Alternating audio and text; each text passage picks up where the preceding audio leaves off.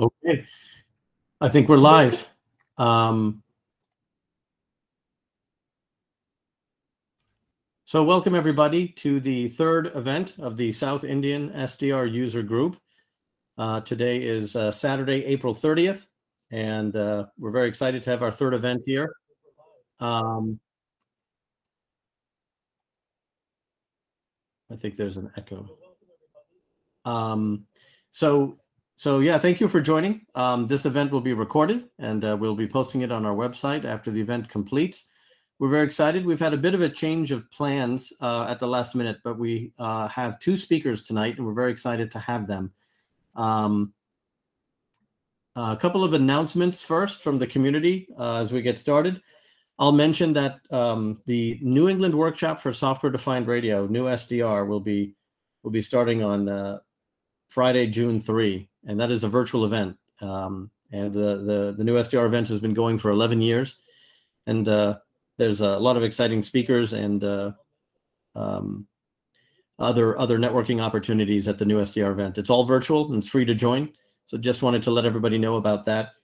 And there's also the GNU Radio Conference, which has been announced. Um, the GNU Radio Conference will be held in Washington on September 26th to 30th, that whole week.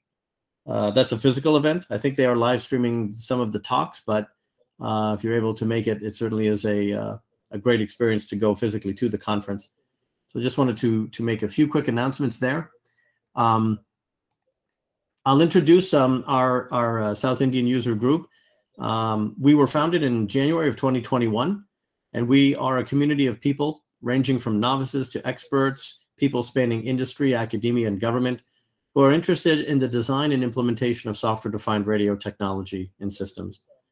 This includes such diverse areas as RF, digital, digital signal processing, wireless communications, operating systems, computer networking, software development, and machine learning and radio hardware. The mission of our community is to facilitate the exchange of ideas and enable greater collaboration within the SDR community in India we host regular technical workshops and gatherings, and we run a dedicated Slack workspace for the community. We have a YouTube channel for recordings of past events. We have a GitHub page for any relevant code from the talks. And we have a Twitter feed which contains announcements for upcoming events and other news that's relevant to the community. We are not focused or tied to any one single software tool or hardware platform or commercial vendor or specific technology. The SISDR UG is a nonprofit organization, and the people organ on the organizing committee are all volunteers. Most of us are based in Bangalore, but we invite people from all throughout India as well from outside of India throughout the world to join our community. Please reach us by Slack or by email if you have any questions and want to connect with us. And with that, I'll introduce the organizing committee and I'll ask each member to just maybe say hello and we'll just start going down the list. Uh, there's Aditya Arun Kumar. So I was previously working in electronics for fun. Now I'm currently a signal processing engineer. That's about me. Okay, thanks. Next. Hey, uh, hello everyone. My name is Apar. Uh, thank you for all our speakers, Thomas and Yashodhan, for uh, speaking at our event, and thanks for the live audience to you know tune in for this event. Um, Hope you have a good time. Thank you. Okay, thanks. Next.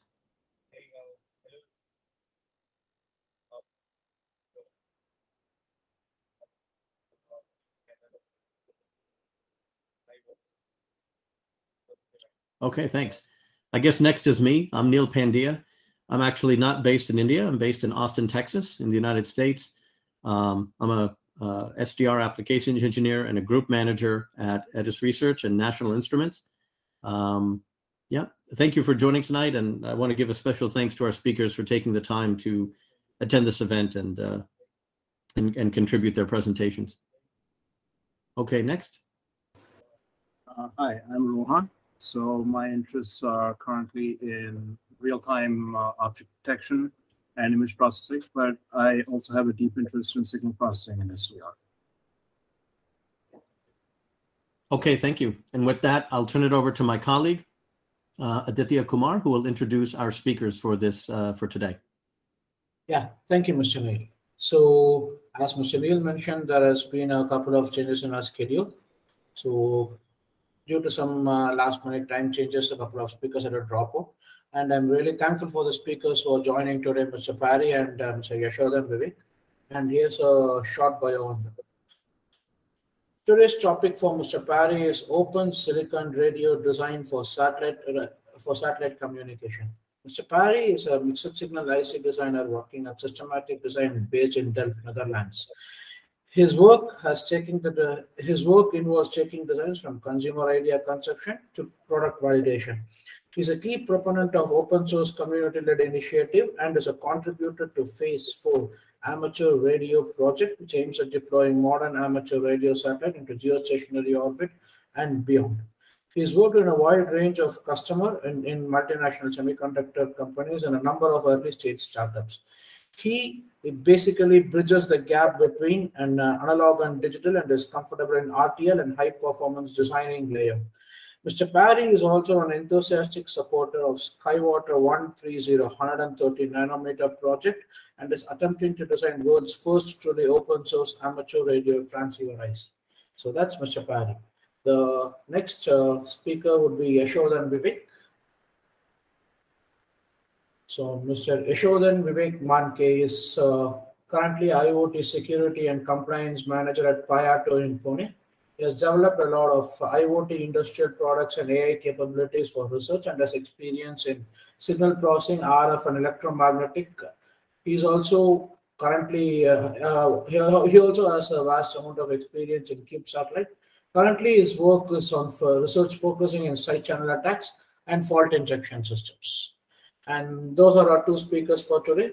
Thank you for uh, joining us in this presentation. We can now begin.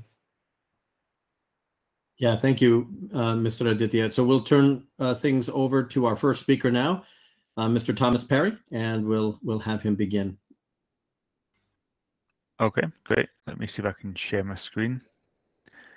Um,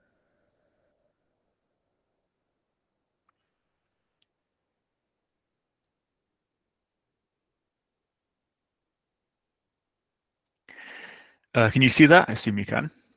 Yes, thank you. Yeah, great. Um, yeah, so I'm going to talk about project I've been working on in the um, open source silicon community. So project titled, um, talk titled Talking to Satellites with Open Silicon. Um, so the goal of the project basically is to design the first truly open source satellite um, radio transceiver. So traditionally, semiconductors have been very secretive and it's been almost well, has been impossible to do anything truly open source because the fab where you actually get the semiconductor um, created or manufactured basically has a lot of information that you need to, to create your design. So these are like uh, simulation models of the devices or rules of how far, how close you can place um, metals and all these little details that you need to be able to make an actual design. Um, and yeah, this has basically all been hidden behind NDAs or non-disclosure agreements. So it's not possible for people to share um, these designs openly on the internet or in any other way. And that's been a real shame because obviously the world's moving more towards an open source framework. Um, what's been achieved in software with Linux, um, the web, um, so many good examples of really powerful technology improvements with open source. And that's not been possible in semiconductors. So about, I think a, about a year and a half ago, the first open source semiconductor or um, yeah, semiconductor PDK or process design kit, which has all those details that I mentioned, um, was open sourced by the fab Skywater in the US. And this was sponsored by Google. Um, and they, they're basically helping us um, to try and encourage more open source silicon to happen. Um, basically, they also think that it should be possible to design open source or design silicon and basically share designs uh, amongst engineers and amongst the world. So they're trying to make this happen. So they also funded um, basically some production runs.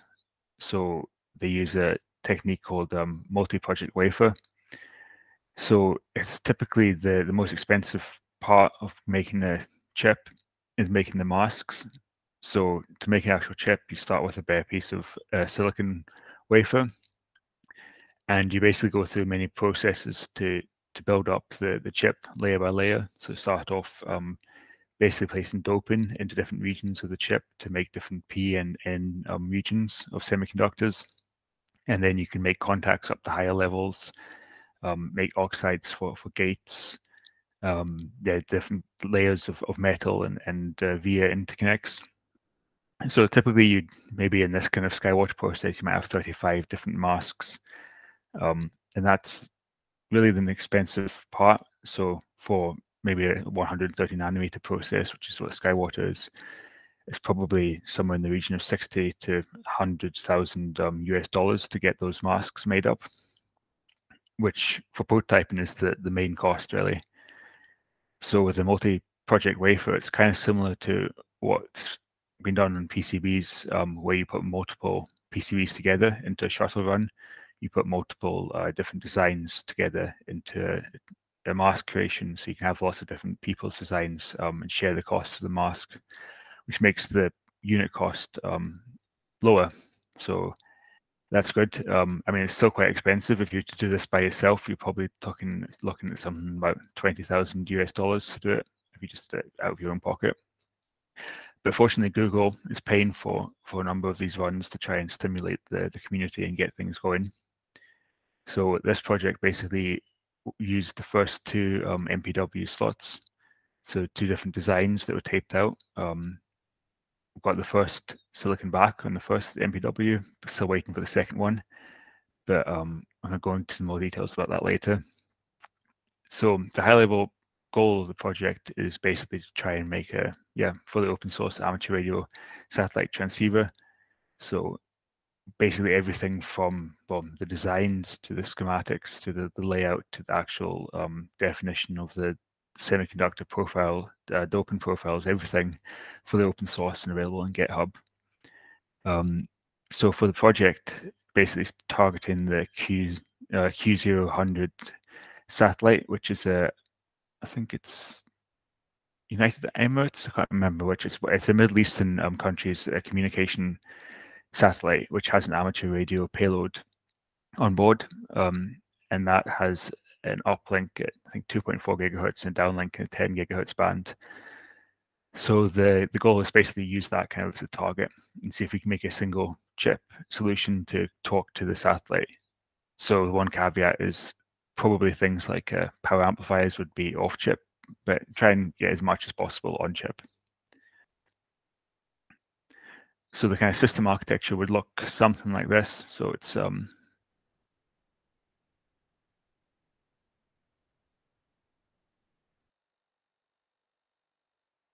you can see the right side, we've got what would go towards the antennas, and then we've got a receive path and a transmit path. So the receive path basically have some amplifiers, um, mixes, um, filtering, some more mixing, more filtering, and then digitizing by an AGC. Um, and then the transmit path is basically the same thing, but in reverse. Um, so digit, uh, well, create analog signals with a DACs um, filter, upconvert, um, uh, upconvert some more, filtering, and then power amplifying.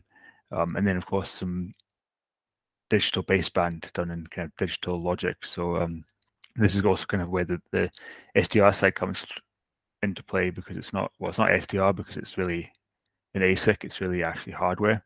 But much of the, the let's say the designs, the RTL of Verilog or VHDL designs that can be used in FPGA can also as easily just be retargeted to put on an ASIC. Um, and then some kind of serial interface to get the data um, on and off the chip, and then some like generate um, reference generators to create kind of housekeeping um, signals and things that you need to basically run the whole chip. So kind of looking at this high level architecture. I haven't created everything yet. Um, created segments of it and basically taped out on the first two shuttles. So in the next segment, I will basically talk through some of these uh, sec sections, uh, subsystems, and circuits that were designed. So created um, created a digital analog converter. So the general idea of this is that we can put basic digital signals into it, and we'll get an analog signal out.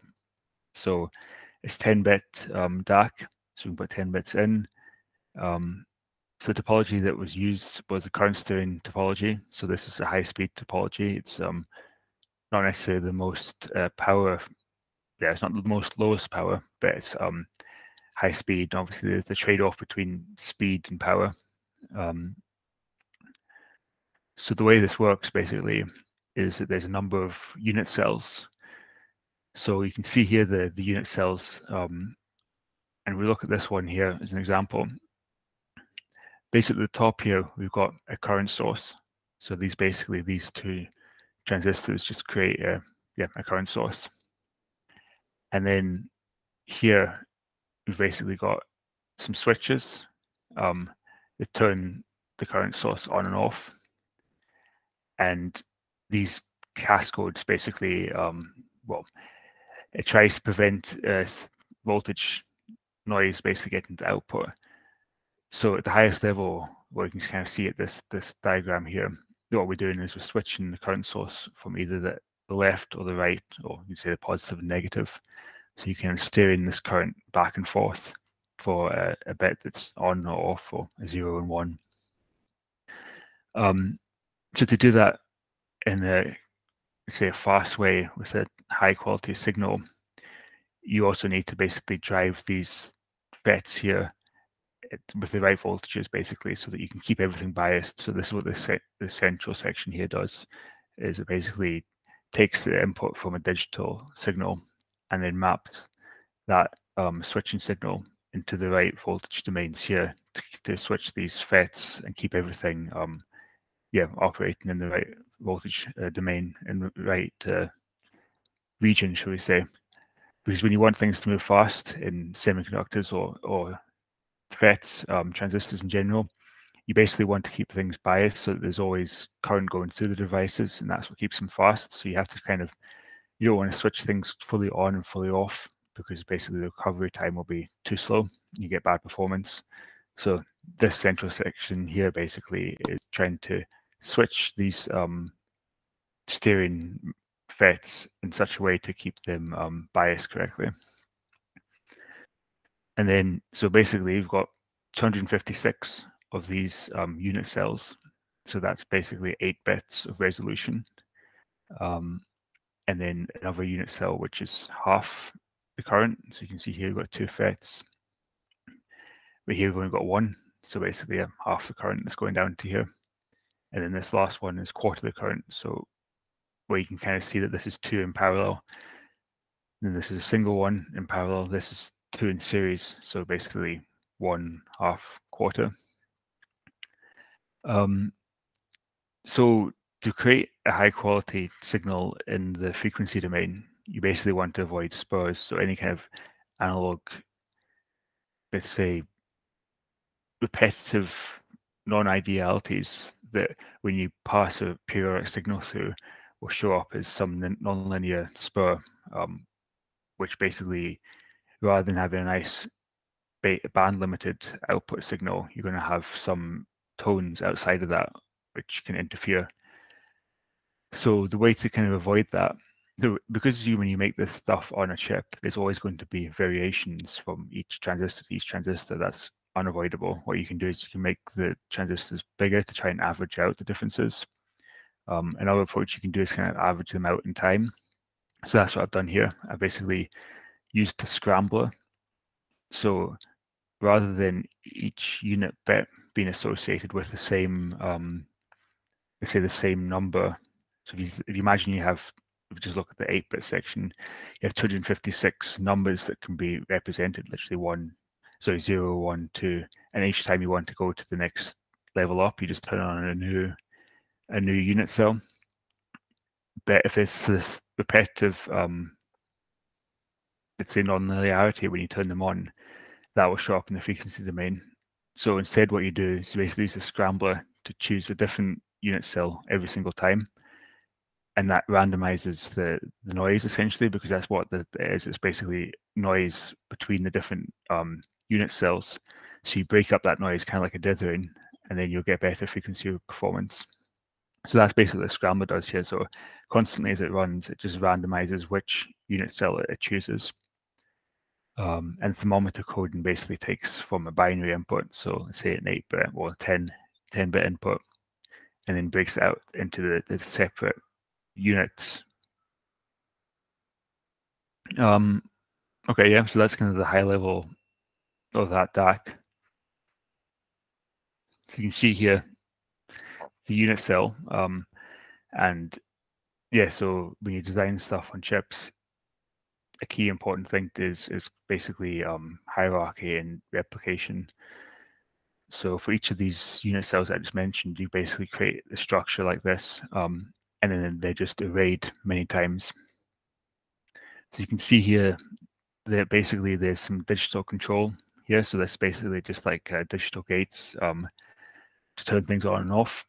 Up the top here is the current mirror, which is the current we saw at the top here.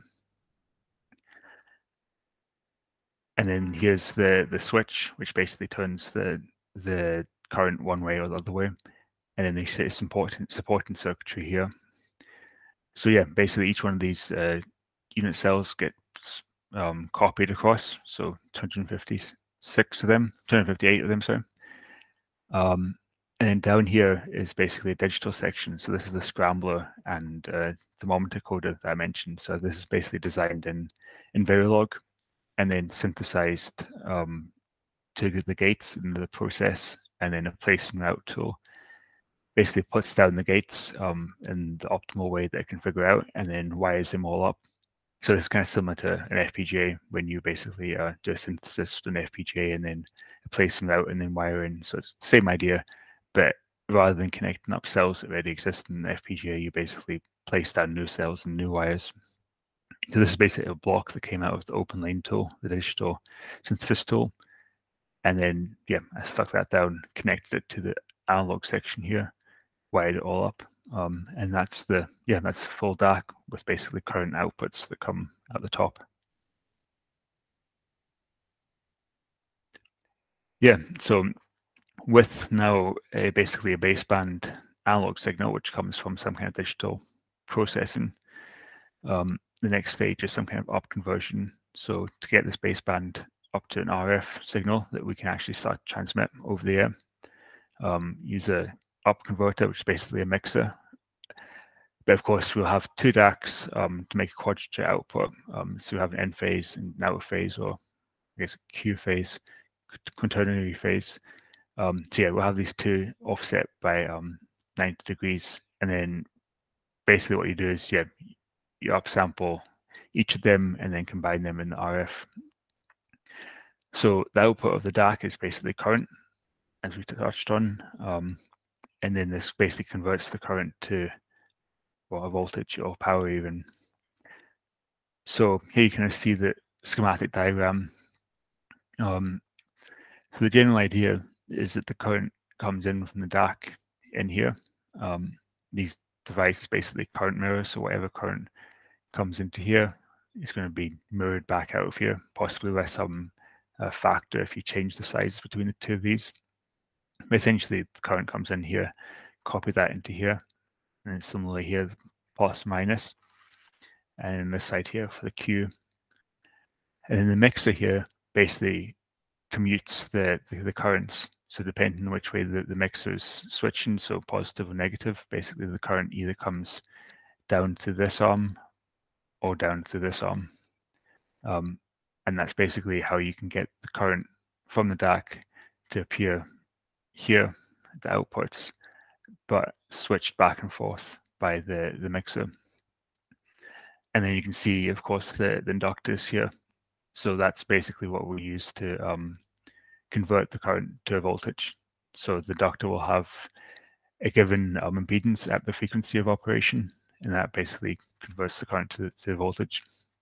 Um, the nice thing about the inductor is you can basically use the inductance to cancel out some of the capacitance. Um, to high frequency design on chips, basically everything you're bathing against is, is capacitance. Um, because the dimensions are so small and everything is right up against each other, you've just got lots and lots of parasitic capacitance from everything to everything essentially. And that's the hardest thing you have to fight against. So one way you can get overcapacitance is just to use more current. Um, and the second way is you can use inductance to try and tune out basically the cancel some of the capacitance. So inductors are nice, but you can see here at the layout view that they're very large. So you can't use them. Yeah, you can't use them everywhere you'd like to use them. So here basically you can see that the top metal is the yellow metal, and basically there's just a large kind of circular, well, in this case it's squarish, but shape that basically forms around here to create a basically, well, it's not really an inductor, it's, it's a coupled, well, coupled inductor, should we say. So the center here is, is the center tap to the, the voltage, um, supply voltage, which is up here. And then you've got one inductor that comes down here and one inductor that comes down here. But they're coupled in antiphase. So that basically helps with the circuit because one in the circuit, one one polarity is meant to go up, and one's meant to go down. Um, and then basically, yeah, if you have the coupled inductor which is coupled in antiphase, then the common mode rejection is better because basically the inductor starts to only encourage currents that go in the opposite ways. So yeah, basically here it's coupled inductor at the top. You can see the the comparison on the circuit. The inductors are quite small, but in layout, the inductors quite large. And then down here is basically all the um, yeah the FETs. Um, so on this design, there's also just a single pole filter here, just a simple RC filter. Um, that's probably not enough for a real high performance design, but for a quick kind of technology demonstrator, which is what this is, it's going to help um, for probably if we try and go to a much more higher performance design than an actual active filter with a higher order will be needed to basically kind of attenuate the let's say the higher higher frequency noise from the DAC. Um, okay, so to so what that um, up converter we are just looking at has the current input from the DAC, and obviously there's the LO inputs here, so the local oscillator that needs to be generated somehow. So yeah, as all modern um, let's say radio systems do use um, I use the, a phase lock loop or start design phase lock loop. So the idea of the phase lock loop basically is that you can use a low frequency but high accuracy source, like something like a crystal oscillator um, or MEM structure, but something that's, that's lower in frequency that you can use you can use to get the, the accuracy and then transfer that accuracy to a higher frequency signal in the megahertz or gigahertz or I guess terahertz theoretically. Um, so the idea here is you basically put in, let's say 10 megahertz reference from a crystal oscillator. And then this gets compared, the phase of this reference and your feedback signal gets compared, and that creates an error signal, which basically uses a well, charge pump, some device that converts the error signal into a physical quantity like a voltage or a current, in this case a current. Then there's a filter. Um, in that filter, well, there's two functions of the filter. One is to destabilize the loop. So this is a loop. So you basically have to use control theory to make sure that the loop's actually stable. Um, and also you want to attenuate a bit of high frequencies and basically the, frequency shape of the filter will impact the, noise, the phase noise performance of the output of the oscillator. So once you created the error signal and you filtered it, you basically feed that to a voltage controlled oscillator. Well, it doesn't have to be voltage controlled. I guess it could just be a controlled oscillator, but in this case it is voltage controlled. And that's your output. Um, and then yeah, to complete the loop, you basically take a feedback of the output and put it through a divider you put it back to your reference. So a divider could be many different forms. The simplest is just an n divider. So you just divide by, let's say, two. Um, often that's not good enough. So I'd say you have like a, a 10 megahertz reference signal. Then if you use an integer divider, you can only get increments of 10 megahertz, um, which often isn't good enough. So you you'd use a fractional division ratio here. So you can have a divide of, I don't know, let's say like 100.36 or something like this, so that you have more accuracy um, on the output frequency. So taking a step lower, starts to look like this. So this is on the MPW chip I did, MPW1, sorry. So the VCO, the voltage controlled oscillator in that chip used a, or basically ring oscillator. So the idea here is you've basically got a number of um, inverters and they're just fed back to each other. So if a signal starts to propagate, it just basically loops round and round and round. And then the way you control the frequency is you use some control signal to, well, in this case, um, change the load. So basically this control signal here changes the resistance or the impedance of this load and how much current can be sourced into the capacitances in the circuit. Um, so that allows you to change the, the delay, should we say, of each element, and then the frequency or the period is a function delay of each element. Um, so yeah, we have the load here, which we can change with the control frequency, and then basically cross-coupled pair here, which is a, a gain element, um, which amplifies the positive and the negative. So you notice everything is, is differential here. So really you do want um, differential everywhere you, you go. You're trying to make high frequency um, signals or processing on chip. Um, so yeah, ring oscillator to create a voltage controlled oscillator. And then that's then output. Um, so this is the dividers here. So you can see that there's what four, so if you divide by four and then further divide by what's that, 16 and then another divide by four. Um, so because this is going to basically be 2.4 gigahertz, you need to use a high frequency um, divider. So here's a CML or current mode logic uh, divider. So basically it uses uh, two latches that are interleaved. Um, so these cross-coupled pairs form latches with resistive loads. And then of course the a flip-flop is just two latches that are basically chained to each other in antiphase. Um, and that's what these two, so a latch and a latch form essentially a, a flip-flop. It's then um, controlled by the input signals here, differential again. So it's a high frequency flip-flop working as a divider. So that knocks down the frequency by four. Um, and then let's say small, so this is quite high power and we use a lot of area on chip. So you don't want to use all of the, you don't want to make all of this out of this, this, this topology.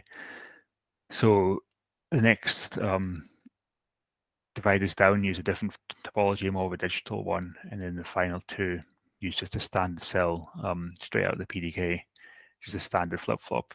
Um, so yeah, that's going to divide the signal.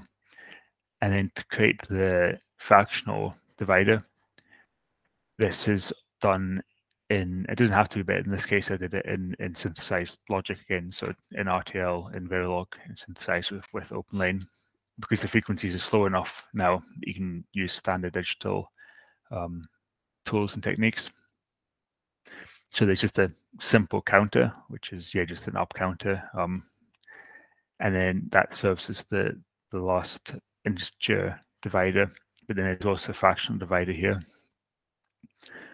so a fractional divider you can do just by, let's say, quantizing, having a integer divider with a with a fractional section and quantizing.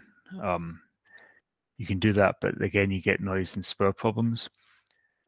So what we use here is to, to try and get around that is was basically a noise shaping. It's like a sigma delta function.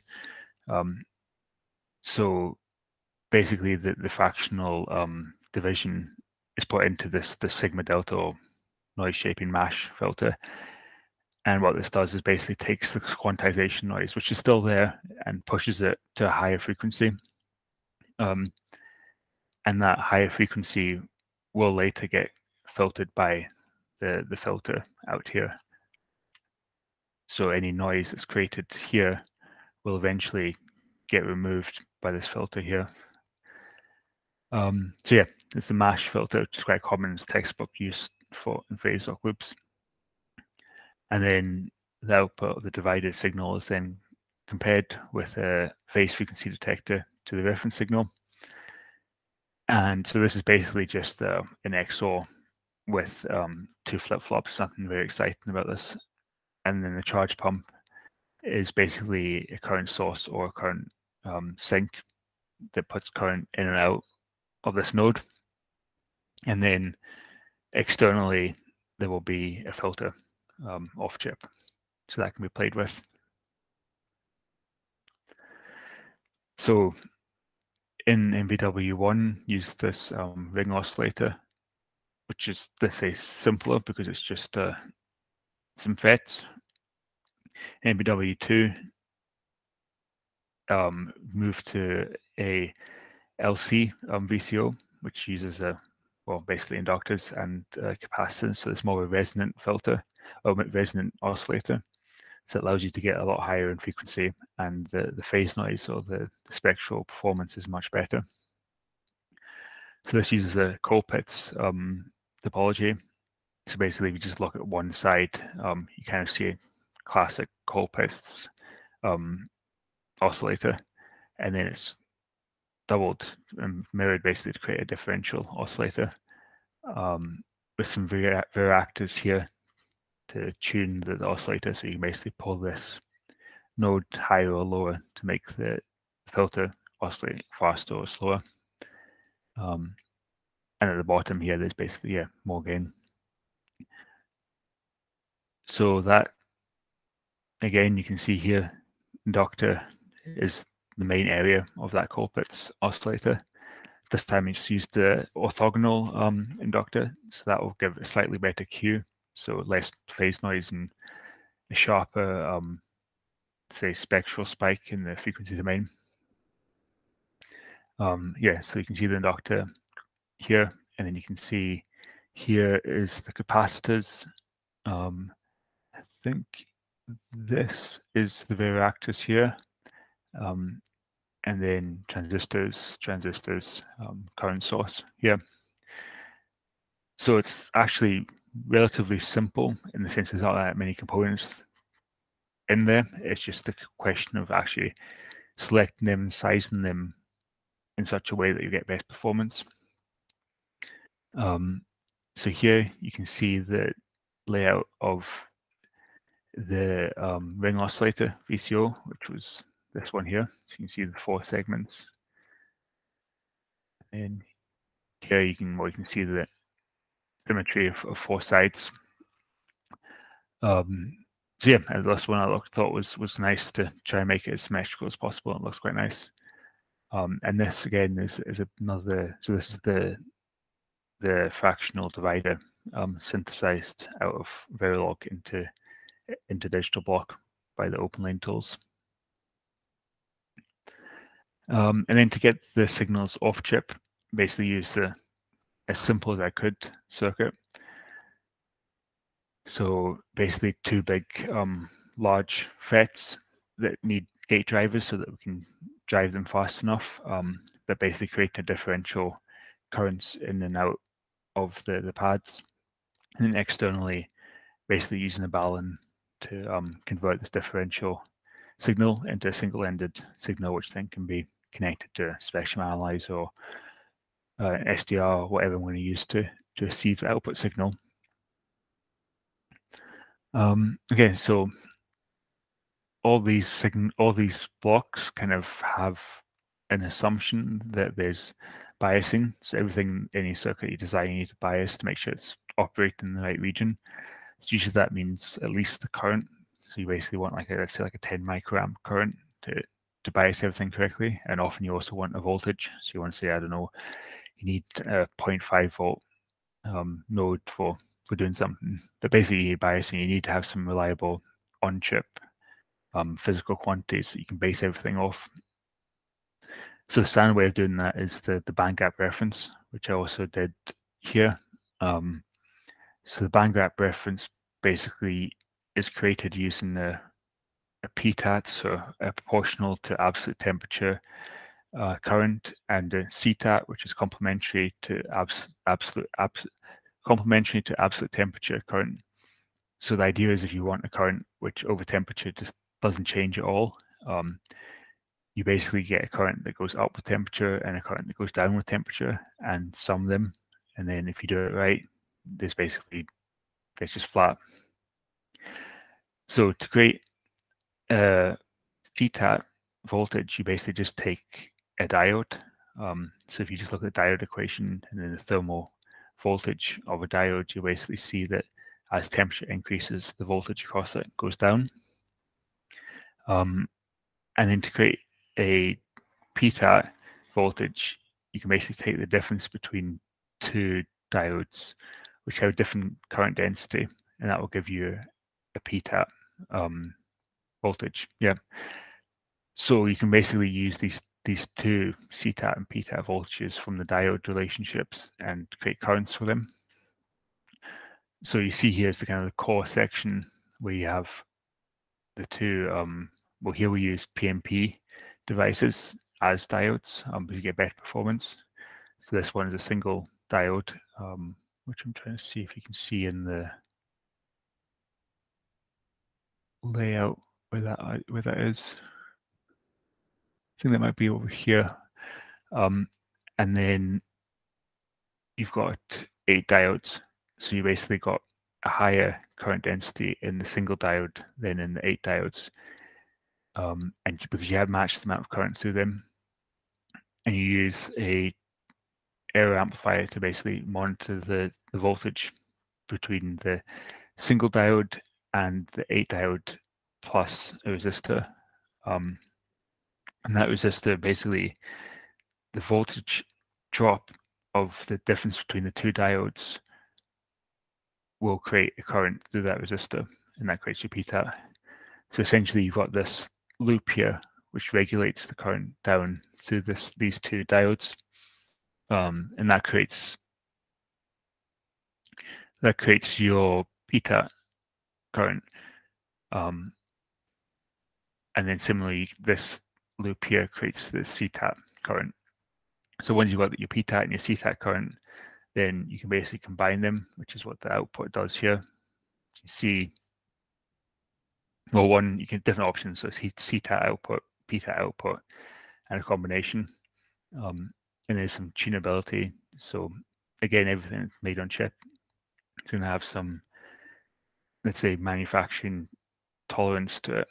So you want to have some tunability to, to be able to make tune things digitally when you get them back. So there's a tuning block here, which is what's that, six bits um, back essentially of the, you can make the current bigger or smaller. And that means literally you can basically change the the temperature profile of the band gap and tune it just correctly. Um, and then yeah, you can see the the circuit there for the op amps, which is quite a standard um, folded cascode op amp structure. It's very textbook. Um, and then finally, there's a beta multiplier reference, which is used to generate a reference that starts the whole band gap in the first place. So the simulations I did at the time showed less than 0.2% variation across the whole temperature range, um, which is pretty good. I'm not sure how much I would trust the simulation models because that was just when they first came out. But um, yeah, I think it's it's relatively good. And in the slide here, you can see the the layout, which is much more of let's say a low frequency analog layout. Um, so in this case, there's really no high frequencies. You don't want high frequencies. You want to be as stable as possible. So it's more about basically matching structures rather than creating low parasitics. So you can see here the, the kind of the uniformity in some of these structures, how you basically, where you basically create an array and you try and match them um, so that everything is, is as balanced as possible and accurate as possible. Um, okay, yeah, that's as much as I have for this presentation. But I thought, depending on how much time we've got, if we have any questions, and then I can also show you some late, some live um, walkthrough of the schematic and, and layout is also possible if you're interested. Yes, please. Go ahead. Thank you. Mhm.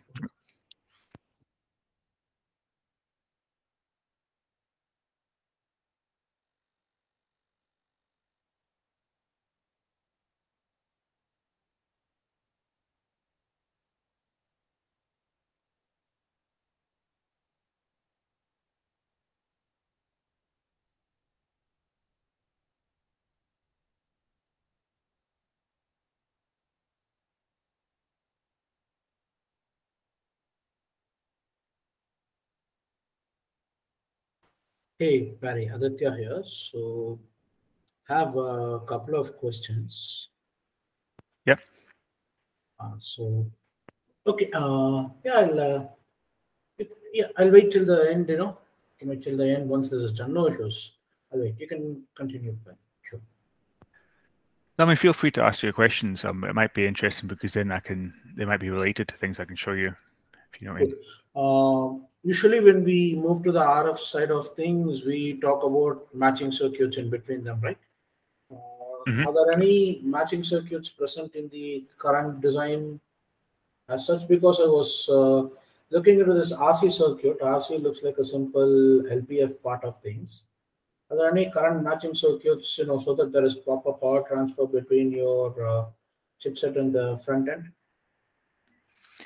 Yeah, so I mean, matching is, I'd say, matching is not as important on chip.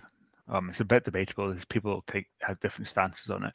But if you think about this, the kind of the transmission line um, effects where a lot of the matching comes from, um, yeah, you, you basically when you think about like what tenth of, of a, a wavelength. So what's what's the wavelength at three gigahertz? It's basically I think about ten centimeters or something. All right, all right. But basically, in on what's that? Yeah, yeah, sorry. Please go. Sorry. But essentially on chip, um, the dimensions are so so- small. So let me actually that at least the frequencies that I'm I'm using um, are so small that the transmission line effects actually don't show up.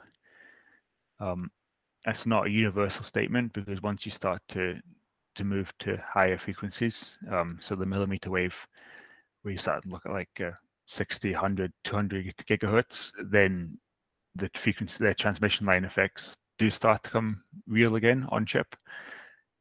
But at least in this case, let me show you. Okay. Another part is uh, you're having a scrambler and a unit cell for switching between your 100 megasamples rate, right? So Um, this? So the mean, scrambler to switching cells, there was some noise uh, things that uh, we had to, you're, you're telling about. Yeah, the same, this yeah, the same thread, the same thread. Can you give a little bit uh, more idea on how the scrambler and the noise on the driver actually works? Because that part was a bit confusing when I was thinking about it. Um, yeah, let me try and think about the best way to describe this. Um,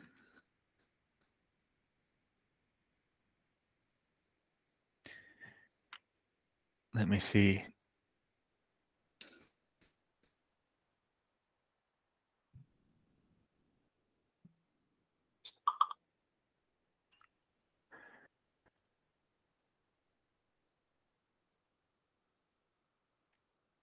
So let's see if I did something like this.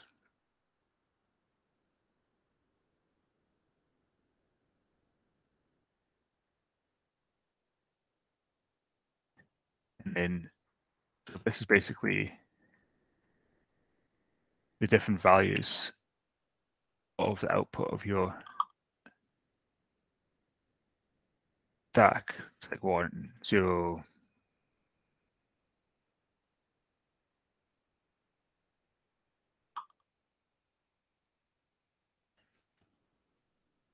one, etc. Um, and you basically have, let's say, a ramp output. Then that's ideal case. But when you basically make the, the things on chip, there's always going to be mismatch. So each of each of these different elements is not going to be equal. Some of them will be a little bit more current, some of them will be a little bit less current.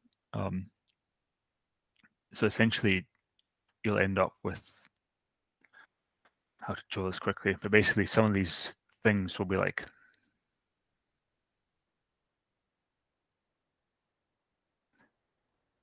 higher and some of them will be lower, um, and you basically don't get a good transfer. And basically, what that means is when you have this um, imperfections in the the amplitude, um, so if you just let's say you're using like you had DC DAC, then you basically have an inaccuracy in the output, and will depend on the application that might matter, it might not. But what happens when you put like a, a periodic signal, like an RF signal, or a, still an RF baseband, but still periodic, is that when you go around in your period, you're basically going to hit the same imperfections time and time again. So you basically you basically make your you, you these imperfections then create spurs in the output. So rather than just having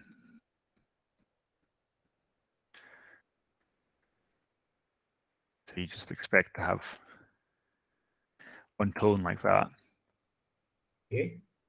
When you've got these imperfections, they'll basically create multiple tones. Because you basically, when you have, let's say, a sine wave, it's always hitting this imperfection every single period. You basically end up with with with yeah these tones. Um, and especially in RF applications, as you know, you don't want these tones because they can interfere or they can even mean you can um, fall foul of, of basically the the transmitting um, masks because you can't have things outside of your band. Um, so you basically don't want these tones, and they're they're inevitable of any inaccuracies in the levels. That those those level inaccuracies get transformed into a frequency error. So, mhm. Okay, so basically, in order to avoid the errors that occurs when this kind of ramping happens, you have a scrambler. So whatever happens is completely sort of randomized in nature, and your frequency is also corrected uh, that way, right? That's my understanding from this diagram. Yeah, exactly. So if you just have the, the static case, you'd always hit the same errors every single time you went around your your period. But what the scrambler does is every time it goes around, it uses the same elements but arranges them in a different way. So it just juggles this around. And then the next time it comes around, it's in a different configuration. And it basically swaps them around and randomizes it. So you basically take this energy that would be in the spur and well in fact you just you just basically create it you just um yes like did the you basically take that energy and you randomize it Okay. so it's still there but it's spread across more frequencies um That's, and yeah the that's random actually quite interesting design philosophy. Yeah, and uh, I have one last question. There was a Mhm. place I saw a single pole LPF. Was there any Yep. specific uh, decision, you know, for choosing that single pole LPF? Because textbooks tend to use it, but uh, single pole LPF tends to have some drawbacks when it comes down to the frequency domain, right? Have to have a sharp cut somewhere. So that's why I was yeah i mean it's So was there any particular design uh, decision between the single pole LPF? No, I mean, so yeah, uh, it's not. It's definitely not the the ideal um, solution, should we say, in terms of performance. So that's that's very true.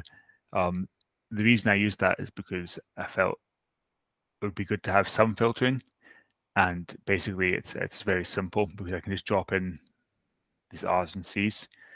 Um, so that's basically why it's it's basically better than having no filtering but it's certainly not the the best filter, the best solution. Um, yeah, that's for sure.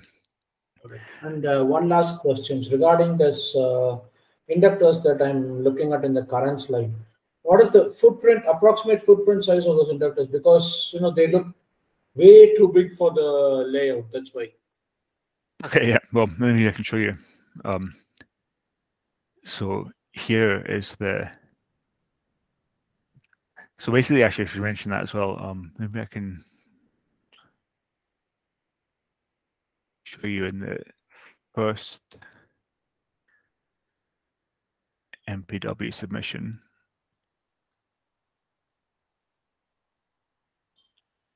I think it's this one.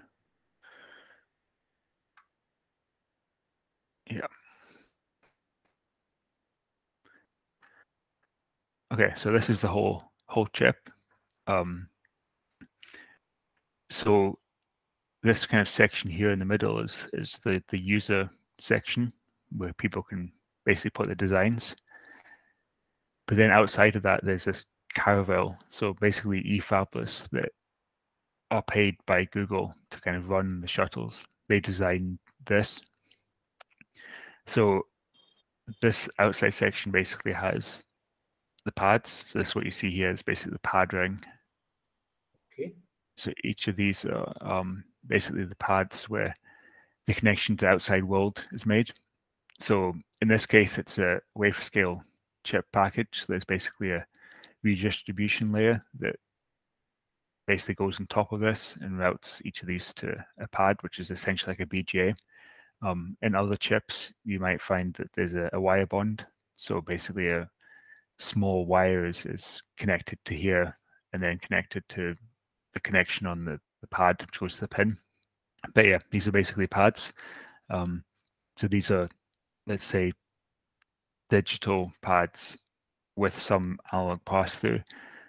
So there's some digital control here that can make them inputs, outputs, or um, tri-state, or configure them basically, kind of like you would in a microcontroller.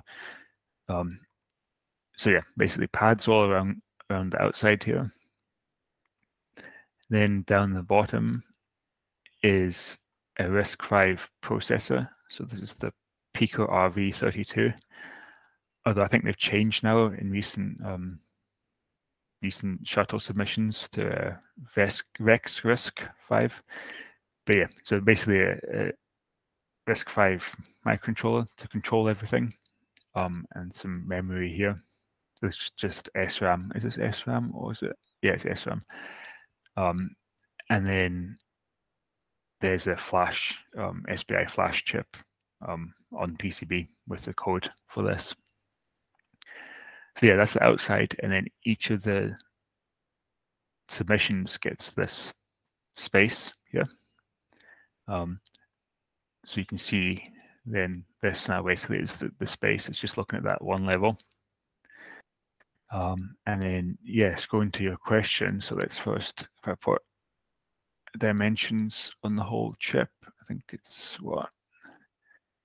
So 3.6 millimeters. Um, so everything, all these numbers will be in micrometers. Um, so that's the whole chip, 3.6 wide. User area is about 2.9 millimeters wide.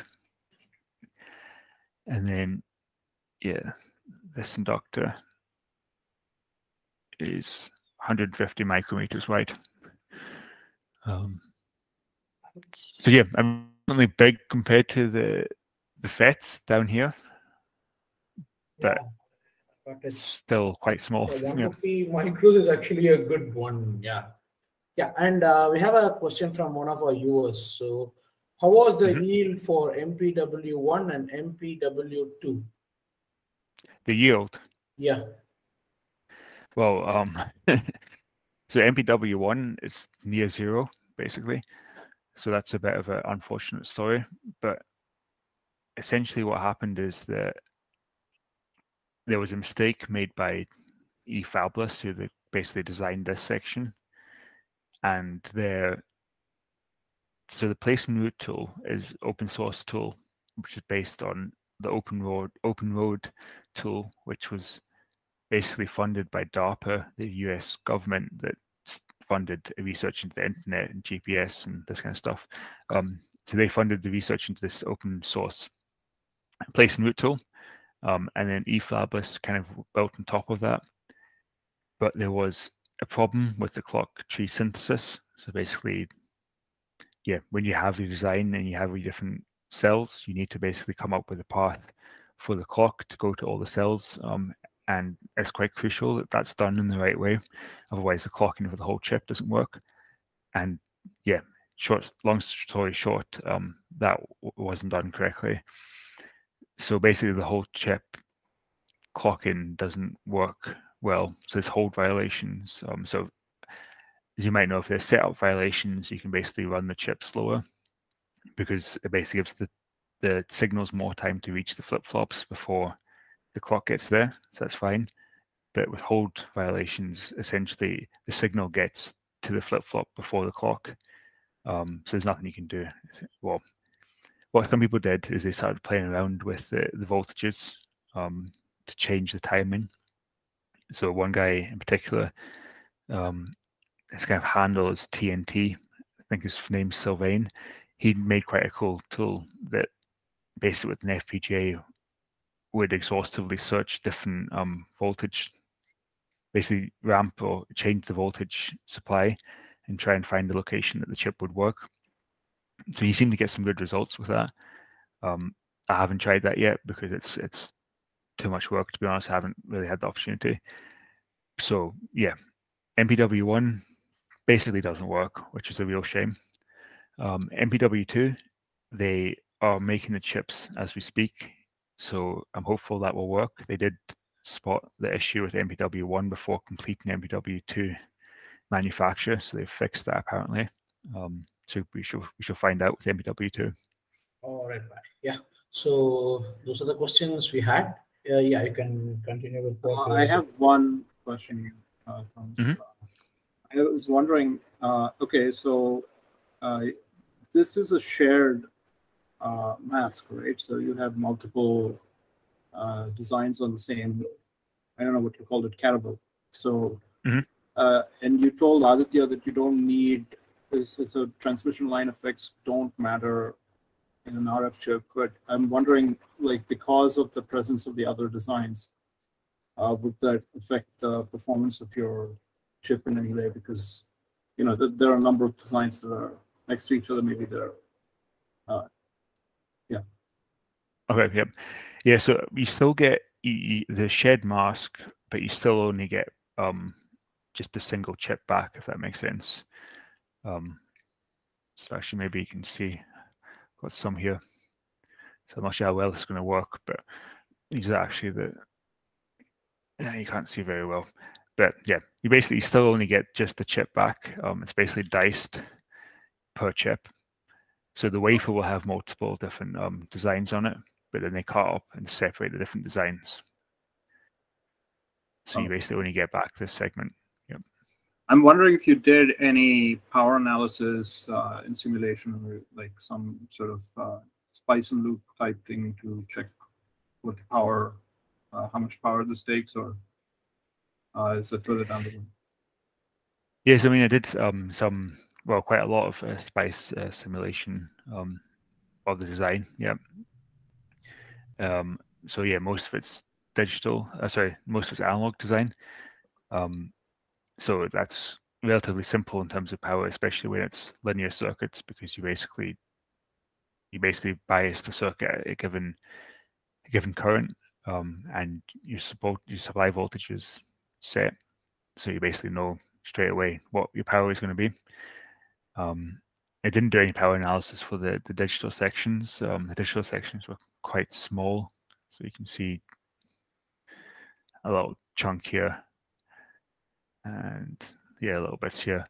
So yeah, no no power analysis for the, those. Um, I don't think there's really any good open source power analysis tools I know of. Um, but yeah, for the, the analog stuff, I did look at that quite, quite a bit. Yeah, uh, thank you.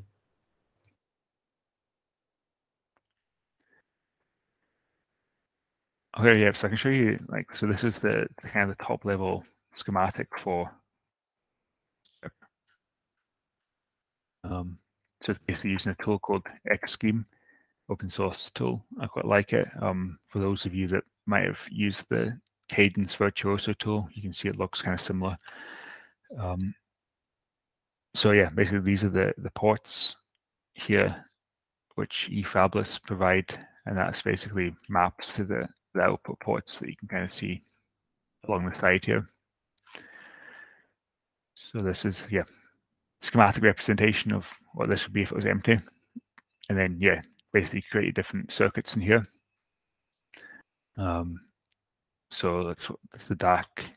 So you can see here's separated into a digital section and an analog section. The, the digital section is not got really anything in it because it's in the analog view. I've just got a netlist basically that comes from the digital basing out synthesis tool. Of course, actual design is in, in Verilog, which um, well, it's not a very exciting design, but you can see it on my GitHub if you if you are interested.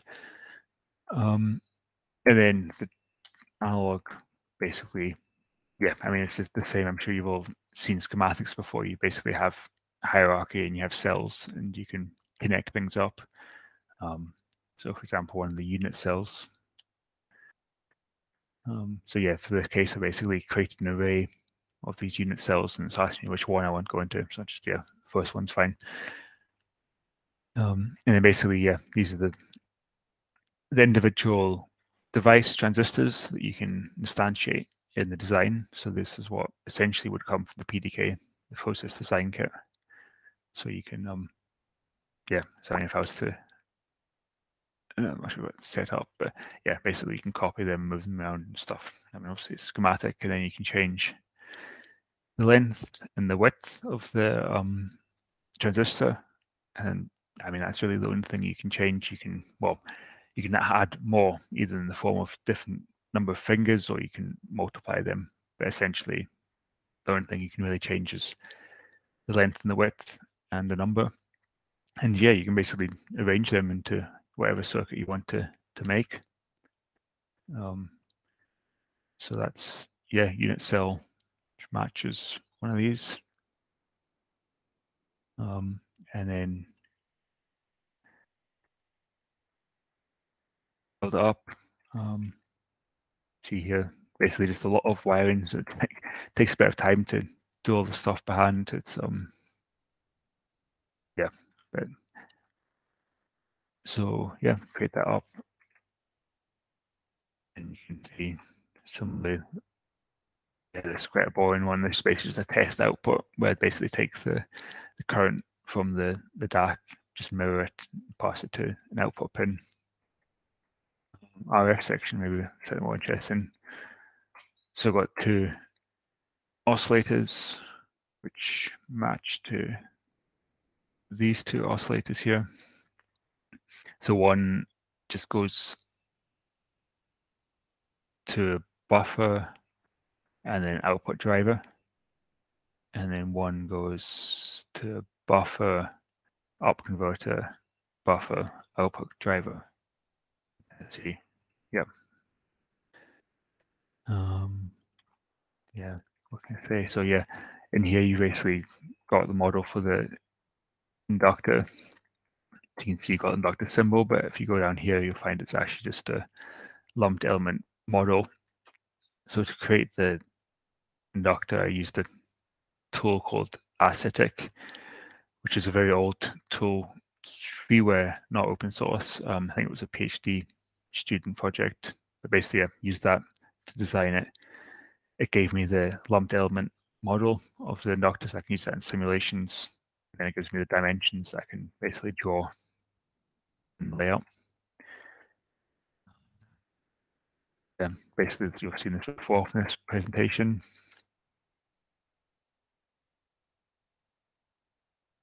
Yeah, so I mean, that's basically the flow. I mean, you, you create your schematic here, you can simulate it in this tool. I'm not sure it will work right now because, yeah, I'm to try. But yeah, you can basically simulate it in this tool with netlist simulate waves. You can look at the waveforms. And then once you're happy, you can start drawing them on the layout in KLayout. Um, and then you basically run some checks to make sure that your netlist matches your layout. and that your design rules are met. So all the spacing and everything is, is correct. And then once that's done, you basically upload it to GitHub, fill in a form on eFabless's page, and wait.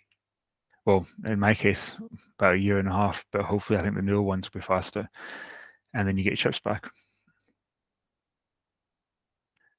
So yeah, I mean, I'm happy to dive anything into anything in particular if anyone's has any questions or areas of interest.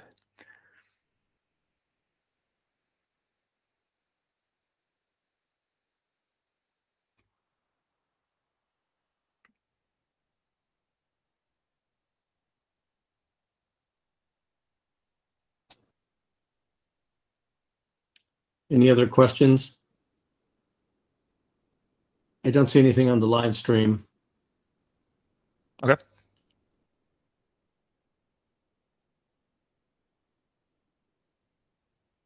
So I think we can we can probably then end here. Um, I'm pausing and going slowly just to see if any last minute questions come into the channel, but but I don't see any. All right, Uh, yeah, no problem. Thank you very much. Thank you very much Yeah, for your talk. That was terrific. Um, that Yeah, was no really problem. interesting. Um, yeah, no, thanks for having me. And um, if anyone has any comments or questions, just um, get in touch, and yeah, I'll try and answer them. So thanks. Yeah, thank you. I think your slide contains your your contact information, GitHub repository, and things like that. Yeah, yeah. Okay, Yeah. super. Thank you, Parry. Thank you for presenting. Thank. Thanks. Mr. Pan. Okay, then. So with that, we'll uh, we'll move to our second speaker for today, and we'll get set up here for the for the video.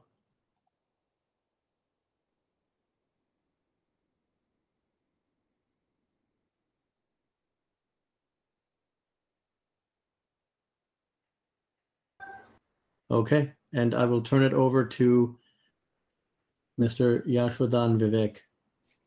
And Sure. you can begin when you're ready. Yeah, yeah. Let me share the presentation. you.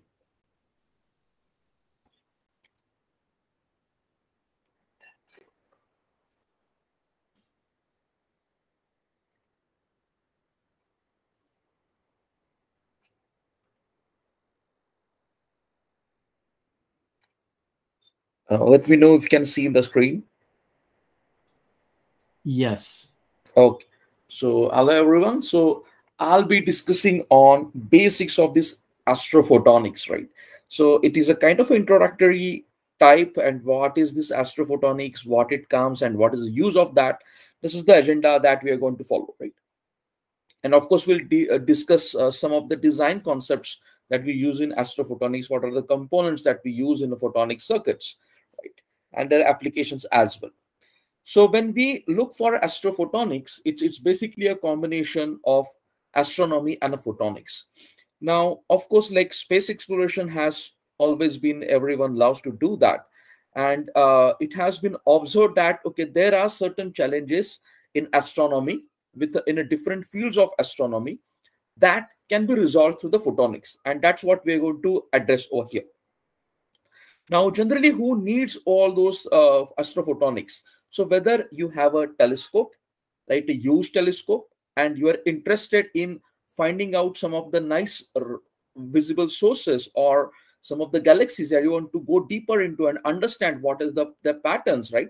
So from the astrophysical perspective, you are interested in understanding their uh, spectrums, you have to understand their physical characteristics, those kind of stuff. And their astrophotonics also plays a major role. Not only this but if you go from uh, the spacecraft perspective where you have a payloads which needs to you know uh, measure some kind of uh, spectrometry or interferometry uh, in a space so they also played a major role over there. And with that we can go for a precise analysis. Now as as we look from uh, the astronomy perspective so let me give a brief you know the overview for astronomy i believe you must know all those things astronomy but to go further with the discussion, this is something base I have to set up further. So now when we go for astronomy kind of stuff, right, there are three kind of categories that we, you know, separate out in the astronomy part. One is the optical astronomy where you have a huge telescope, right? You can have a, you have a mirror, either convex or a concave shape, and you are setting up your telescope and trying to you know explore the stars and the planets over there. So this is the most common rate of astronomy that any amateur can do or in a professional can do over there. Then the radio astronomy is one where you are trying to get the radio waves and try to analyze them right? And there are certain different centers across the globe who does this job.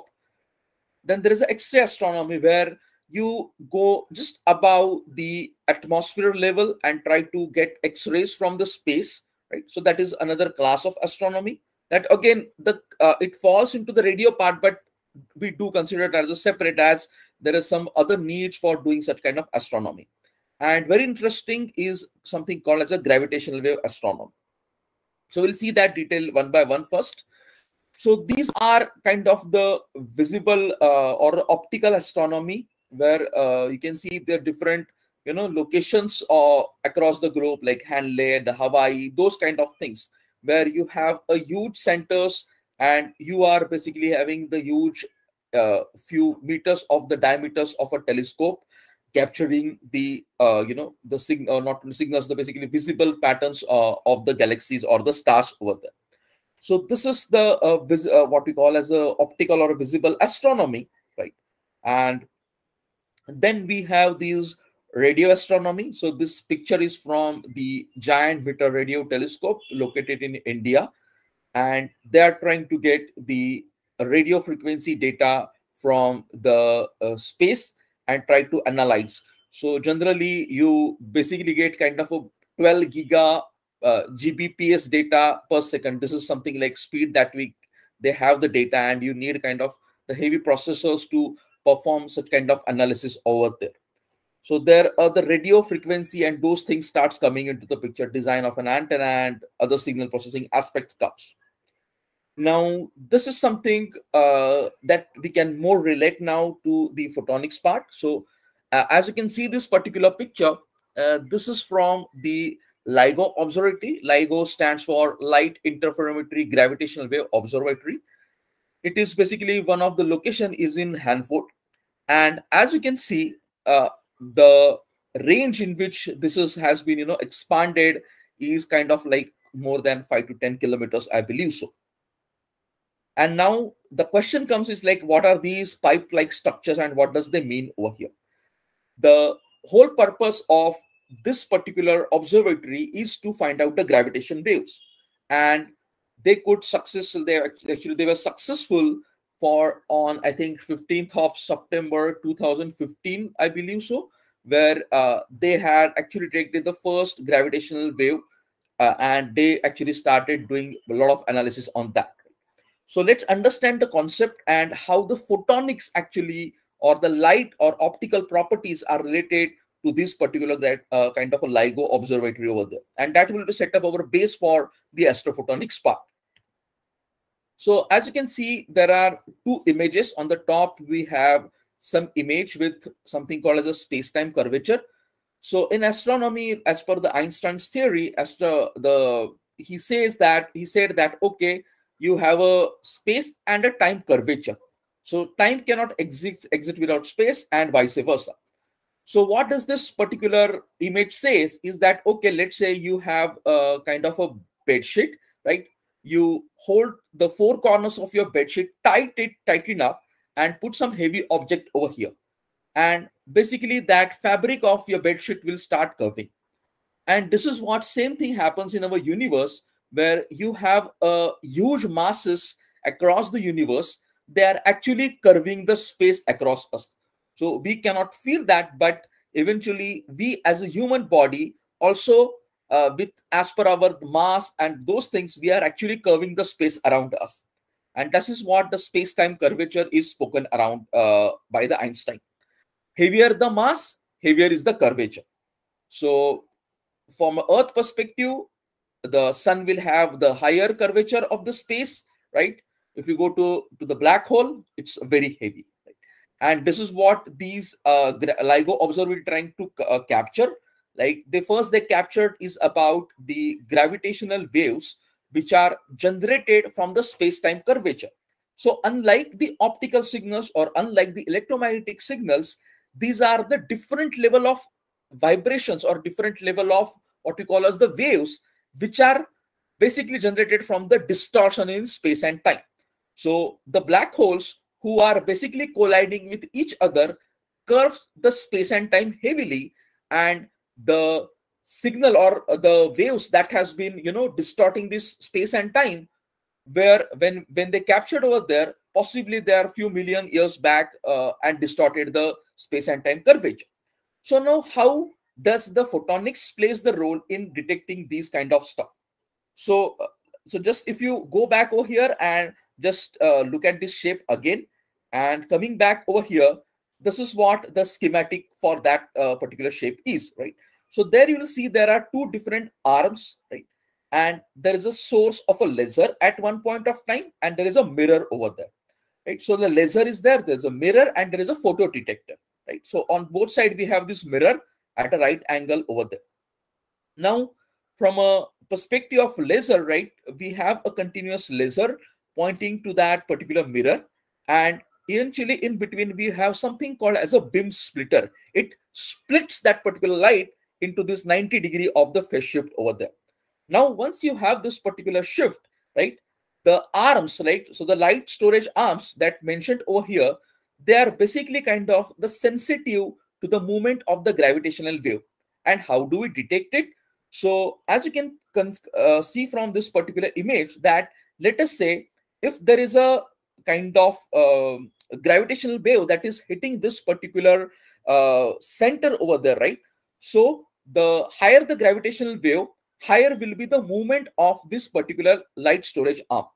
Of course the it is not going to move like uh, few of the inches but even the slightest or distortion in space time can be detected and few mms or the few even few siemens uh, siemens more but few mms of this particular motion of this particular arm can be detected by this photodetector. The reason being because we have the beam splitter and that something called as a split of this particular light can be detected by the photodetector. And they have that sophisticated level of the instruments to detect such kind of movements over there. So this way, the laser source is basically trying to help to achieve the finding of the gravitational wave. Uh, if someone is interested in this LIGO project, you can actually go and uh, LIGO Observatory website. They have a huge amount of data uh, per year or a few months quarterly. I think they started releasing now data. You have a lot of options of doing a lot of signal processing and doing data analysis on those uh, data as well. So this is the foundations where you can see the use of the uh, what we call as the photonics part into the astronomy part, right? So this is one application of a uh, astrophotonics. But our discussion is on much deeper level where we'll try to focus on the small photonics integrated circuits and how they're useful in the astronomical applications. Now, what is the thing that we are achieving through the astrophotonics, right? So some of the things that we look for is like uh, the major application that that is you can find uh, for this uh, uh this uh, space or astronomical part is something called as interferometry, which is kind of similar thing what we had discussed here, right? Kind of because here what is happening is we have the splitting of that particular beam and then try to have an interferometer at one side. Right? Then we have something called as a spectrometry? And what, what we mean by spectrometry is like, uh, let us say if you focus on some of the bands of uh, the optical part. So ultraviolet band is there we have a infrared band. Again we have a near infrared band in between the sub band over there and the visible band. So now eventually let's uh, suppose that you are seeing some galaxy resources across a particular uh, part of the uh, the globe and you are trying to understand okay there are i can see two galaxy sources from the distance and i want to find out whether they are moving away to away from each other or they are coming closer to each other. So how how do we uh, uh, understand that? How what is the motion over there right? So of course we have that particular what we call as the doppler effect and how do we try to measure that is whenever the optically we are taking the spectrum of that through the telescopes and if the two galaxies or the any two sources in the space are moving away from each other in a spectrum, you will see kind of a red shift over there. So it shows that the they are moving away from each other. And on other hand, if they are moving close to each other, you will see kind of a blue shift in the spectrum that you have collected over there. And that's what we call as a spectrometry or spectrophotometry for that matter. Then we also look for something called as a microlensing, where there is a huge curvature across the galaxies, and you will see the light has been curved, and you can see as a lens effect over there. So for these are the different techniques in astronomy where you use the astrophotonics techniques. Now, of course, like the instruments that have been there for astrophotonics, right? So they have actually coming from a different telescope, increasing like so. We had a Galilean telescope, we had a Newtonian telescope. We still use that, right? So uh, uh with, uh, with the curvature and doing some things on a mirror, you can you create your own Newtonian telescope, right? And then uh, you had a different uh, spectroscopes and those things available in the market. But this is like now almost uh, end of the era now, right? So now what interested is like we have a huge amount of data and we need to find out, okay, let us say I want to decide what is the actual source of a particular galaxy, how I can locate over there, when I can see that uh, to find more detail into that, right? So there I need to have a photonics emission of that particular galaxy. I try to capture that as well. Now, how we infer something that is happening. So as I spoke about the red shift and the blue shift because of the kinematics of the galaxy, that is something we try to observe. And what, what we're trying to understand from uh, those kind of uh, spectrums or uh, the data that we have collected from those astronomical detections, right? So uh, there is also one uh, section like uh, there are certain sources in the universe which are the faint sources, meaning you cannot find them through observational astronomy or through the optical astronomy. If you like, go to the constellation, what we call as a scorpion. Beside that, you have a kind of a near infrared spectrum, which is not actually visible easily over there. And there was a lot of research that has happened to find that particular source, which was not there. Right. So these are some of the sources which you cannot find out through radio telescopy or a uh, visible telescopy, you can use the astrophotonics in that scenario. Not only this, because uh, we also can, you know, go for you know understanding the exoplanet and their astro uh, what you call as atmosphere across that. And uh, another thing which is like kind of a high, uh, you know, the famous topic in this astrophotonics is understanding this near infrared spectrum, right? Where you have at the uh, the the OH background, so that basically you know uh, creates kind of uh, the faint sources, right? Uh, in that particular region of a galaxy. So uh, you can consider the J band and H band with this particular mentioned call as a wavelength in the near infrared region, which is not easily captured by uh, the visible or other kind of uh, telescopes that is available across the globe. And for that thing, we need to add a special near infrared spectrum to analyze that particular sources over there. Now, looking from the challenges that we can uh, go and doing the astrophotonics, right? So, of course, like we have a huge amount of telescopes, right? Uh, the satellites, those things, right? So, these are the large instruments that are already there, right? There are multiple bands. So, as I spoke about the infrared, near infrared, visible, ultraviolet, those kind of bands. And for that thing, your design considerations are totally different for different bands over there. Not only this, because for the different bands, you're looking for the different sources and uh, the different inference from those sources. So we need a kind of a, a sophisticated design for these kind of multiple bands over there. Then also there is uh, i just mistaken the inference rate so basically interference so there are different interference uh, coming across over there and how we resolve that particular stops over there then the power consumptions of course the heavy telescopes and those things that we are trying to do that it has a heavy amount of consumptions. And the cost is uh, uh, you must be knowing the space missions the cost is huge in that scenario right? So how does the photonics integrated circuit will help in that scenario right? So first let's let's be uh, on the same page of the basics of the photonics where you have a dual nature of your light right? The particle and the wave nature. And we try to uh, you know use some materials in the uh, photonics uh, uh basically integrated circuit to basically manipulate the light, whether it's a reception, whether it's an emission, a detection, or you're processing some kind of optics, right? Uh, right. So there we have to design some circuitry in a photonics level, right? So think from a perspective that now we'll be discussing about the different circuitry instead of the uh, RLC circuit that we have electronics, we have some different components coming uh, across our way. So the photonics integrated circuit popularly use this silicon as their base, what we call silicon photonics. And the cost and those things in a multiple, it's uh, much reduced compared to the huge uh, amount of the design that you make for the telescope. So these generally are kind of, uh, you know, the uh, kind of what you call as uh, the complementary for the uh, what you call as a telescope where uh, it supports the telescope in some of the operations for detecting few of the bands of the things. Now coming to now uh, the design part of uh, these silicon photonics, where you have kind of the wafer. So now uh, as this looks bigger, the wafer size generally goes uh, around like uh, few of mms actually, right? Few of few of mms, right? But here you can see this is kind of a silicon substrate of 700 microns and you have over there the buried oxide over there and the silicon insulator with 220 nanometer. So this is the standard thickness that we use for a soi right? Silicon insulation.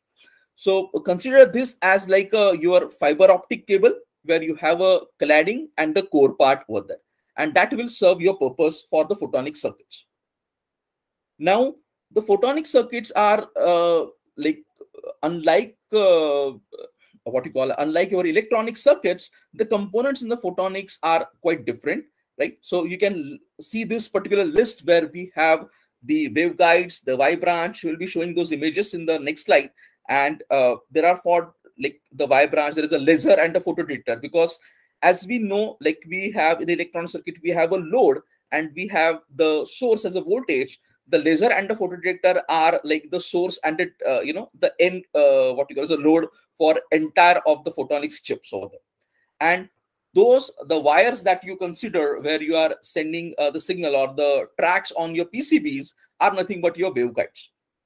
Now you have different kind of other components that we'll look in the moment. So when we come to the waveguides on uh, the photonic circuits right? So this photonics integrated circuits are into some uh, micrometer range. So what I had initially worked in the range of 640 cross 400, uh, 410 microns, like length and height I'm speaking about. So here there are two types of the waveguides, right? One is a strip waveguide and is a rib waveguide. So you can see the strip waveguides are, uh, this is kind of a fabrication image that uh, they are generated. And uh, here you can observe that the strip waveguide how it is carrying basically the light over there right? So it has the property of carrying the light from a source and then navigating to the respective circuitry or to final to the photodetector part right? So there is a one rib waveguide and a strip waveguide so the rib is uh, needed because uh, the rib has basically a kind of a tapered structure and this is much needed if uh, we want to have a design from a perspective of the interferometer or for that matter uh, some of the spectrophotometers over there. Another thing over here is like the losses are uh, uh, less in the rib waveguide and we have a higher uh, kind of uh, losses in the strip waveguide. But considering the fact the size over there the strip waveguide has the you know smaller size compared to the rib part okay? so depending on your use case and the application the designer will choose which one is better then what are the particular waveguide parameters that we'll look for? So basically, we try to look for more from a refractive index perspective because now this is more kind of a uh, cladding at a core part of fiber optic kind of stuff, but this is more happening on the chip level. So here, importance is the index of the refractive index associated with that. So it's an effective index and a group index. So this effective index or the waveguide functionality is more dependent on the wavelength on which you are working. And as you consider the wavelength, it also depends on the temperature uh, and the material that you are using over there. So generally, uh, based on the refractive index, the uh, temperature at which you are working, and the uh, type of waveguide, we are actually using these particular parameters. With the group index, uh, we can actually see the num the particular delay for particular uh, uh, band. So, for example, the red band has the higher group delay compared to uh, the uh, RGB, the blue band over there, right? So, depending on the wavelength, you have a different group index, and accordingly, you choose what waveguide is suitable for you in that moment. Then, what we have is uh, okay. So, I just. So now the next parameter or the next component is called as a Y branch, right? So let me just first go over here.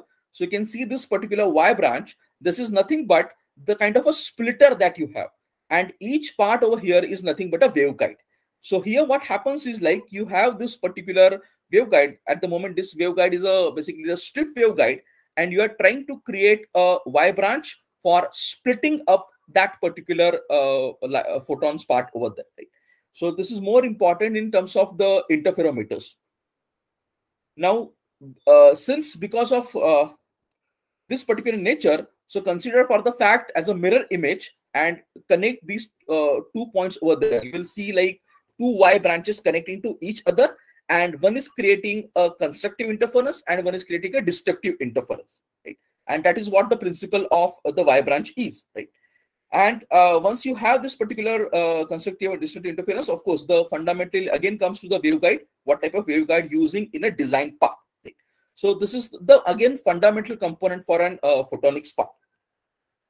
Coming to other section where um, uh, the gratings part, or this also called as a grating couplers, right? Why we need it.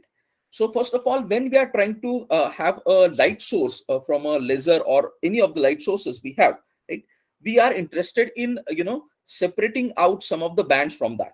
And eventually this is similar to your prism where you are separating the sources of a light. Now there are certain active components and there are certain passive components. Now consider for the fact that if i have an active component i will use the light source like laser as a light source. Now but looking from an astrophotonics perspective when i'm looking uh, at as a part of a astronomical solution I have kind of a majority part as a uh, what we call as a passive components because I am getting the light source from the space itself, right? And that particular light source I need to divide into different spectrums. And for that thing, we have this particular kind of a grating structure. So what it has is like the height of this and uh, the complete uh, sorry the uh, height of this the complete length of your grating as well as this this is called as the period of grating so what is the length of that right? So it's called the period of a grating. So here if you observe on on the chip level how it has been fabricated. So you can see this kind of structure as a uh, grating coupler on the slab waveguide itself right? So it basically has kind of a 80 nanometer uh, width over there. So this uh, this complete width is only 80 nanometer. And there is certain period of that right? At which uh, you are uh, separating out those kind of uh, uh, spectrums over there so this is the grating coupler. Uh, so this is responsible for uh, basically uh, separating out this uh, frequency part, not frequency, the wavelength part over there. And uh, the fundamentally, uh, it, what is happening is like throughout this particular material, when you design, the refractive index is basically has been varied over there. And because of this variation in the refractive index, you are getting a different scattering of that particular wavelength. Now, coming to the photonic circuits, right, where you have a different circuits like interferometer or a ring resonator or a directional coupler. So when we say interferometer, so this is nothing but a simple Mach Zehnder interferometer. So what it's doing is like, so you just cut it into half, you'll see this is particular a simple Y branch at one point, and this is again a Y branch at one point. Now, what is happening is like I have a light source at this particular point entering into this waveguide. And since now I have this particular splitter, right? Here my light is split. And now if you look from the face perspective, what is happening is like at the top, you have a smaller length compared to the bottom one. So eventually at the other Y branch over here, which is like the uh, left side, we have a splitter. At other side, we have a combiner part, right? So here what is happening is like they are basically uh, combining with the delayed phase shift like so phase shift has been uh, sh uh, delayed over here. And based on this particular thing we will have some of the constructive and the destructive patterns. And those patterns will be helpful for finding out some of the sources from astronomy. So think from a perspective that you are observing some galaxy structure over there and you are trying to understand exact source. So for example you are at particular latitude longitude and you are observing that thing so uh, let it uh, make it more easy that let's say you are seeing some source of a light okay? And you are basically closing your one, one eye and you are seeing that particular light source right? So let's say your left eye is open you're closing the right eye. You will see that in a different angle right? And if you do the reverse where you have now uh, your right eye open and the left one closed you will see that in a different angle right? So now to solve that particular problem exactly where the location is this particular guy helps to find out the right kind of in constructive and destructive pattern to locate exactly where the that particular object will be right? So this is one of the application where uh, we can uh, use this interferometer. Now other part is about the spectrometer. So as i said that we are interested in going and finding out the spectrums of the particular uh, band and try to understand or infer that okay what could be happening at the background whether you have the high HOS concentration or which band is uh, more dominating over there. And once you have that particular data the astro uh, astrophysics guy takes this particular data and understand okay this might be the astrophysical property. So for example you have uh, the uh, end of the life of that particular galaxy right? So that time you see a lot of red spectrum band and you can predict okay this possibly can be a white dwarf in a future. So this can, just the example i'm giving at the moment. So there are three different types of you know spectrophotometers or spectrometers that exist. Something called as an array waveguide grating. Meaning so we had discussed about waveguide we had discussed about the grating. Now we design waveguide such a fashion that they're in a grating fashion. Meaning they are basically separating out the different components of the wavelengths of the light resources that are coming from the space similarly uh, the one doing the Fourier transform spectrometer. So this is again similar to your FFT, but this is more happening on a grating level they are trying to separate out those frequencies over there. There is one more grating called as a photonic Echelle grating. So this is more complicated and uh, they do the grating in more circular way over there. Right? I don't have a nice picture of that. I would have uh, actually added uh, for the discussion over there. Right? So now looking from this astrophotonics perspective, so if you look at this particular design where you have the input fiber fade over there and uh, when you go to the circuit part, right, you have this particular waveguide now, what you're doing is like you are splitting that. Uh, so this is basically an array waveguide, right? So it's a combination of array waveguide. And uh, actually, it's nothing but only the array with a different grating structures. And what they're doing is they're creating the different path differences as per their length over there. And at the output, what we are getting is for the different part differences, we are getting the different wavelengths. Now, as we are doing the spectrum uh, analysis over there, we are getting the different wavelengths of the visible or near infrared, whatever region that we are capturing over there. And we can actually see what type of the uh, galaxy that uh, you're looking for. So assuming that you are targeting the uh, the movement of the galaxies, you are trying to analyze over there. This particular spectrum at the output can help you to understand whether the galaxies are moving apart or not from the redshift as itself. So this is the path difference that uh, can happen through this waveguide design right so uh, again one more things where you have basically a telescope itself and the photonic chip is now basically getting integrated with this point of telescope. For that we need something called as a photonic lantern. This is again kind of the uh, single mode fibers where you support only one mode of the communication uh, through that particular thing. So one mode light of light only applicable to that particular fiber right? And there we use this uh, particular grating structure where we are trying to you know uh, get this particular spectrometer and trying to you know separate out the different frequencies as we discussed in the previous slide. So at the output you can uh, either connect a camera or a ccd or a different photo detectors that is the depending on the use case and try to analyze what type of wavelength is there in a spectrometer so uh, another good example would be so separating out the uh, what we call as the uh, the spectrum from the planet and the combination of stars and the planets, right? So here, if you observe, uh, on the top end part, these array waveguides are acting as a spectrometer and we have to separate the sources using the interferometer, right? So with the interferometer, what we can do is we'll separate out the sources associated with the planet and the star. Thus, we have the null and antinull. So null is basically the destructive, antinull is the constructive interference, right? So accordingly, we have interfacing with the single mode fiber, either through microlenses or whatever structure you have, and then you capture the data through the telescopes, and you are basically taking the spectrum of that. So the, there are different things like so um, what things can be done from a astrophotonics perspective. So uh, of course, like uh, or the consideration that we need to do is like what type of gratings you're using, what type of interference you're using, what type of fiber optic you're using in a design, as well as what type of area of the telescope that you're covering. So so there are different uh, use cases or the challenges that you have from where you address these considerations from a design perspective of a chip.